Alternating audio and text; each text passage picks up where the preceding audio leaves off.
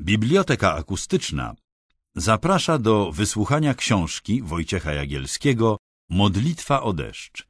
Czyta Roch Siemianowski. Byłem pierwszym gościem Golama. Najlepszy pokój, do którego kazał zanieść moje bagaże, miał ściany i sufit poharatane odłamkami, a w oknach zamiast szyb przezroczystą plastikową folię. Rano przed wyruszeniem na codzienną wędrówkę po mieście wychodziłem na balkon przekonać się, jaka jest pogoda i jak przedstawia się sytuacja na froncie.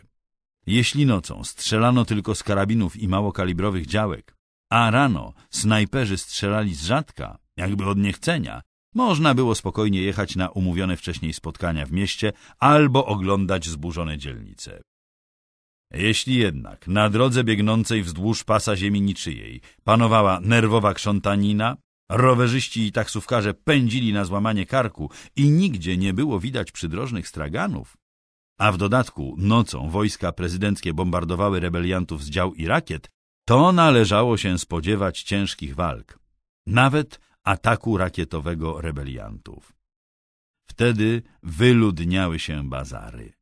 Nawet jubilerzy, tkacze i kuśnierze z ulicy Kurzej z trzaskiem spuszczali blaszane żaluzje na drzwi swoich sklepów.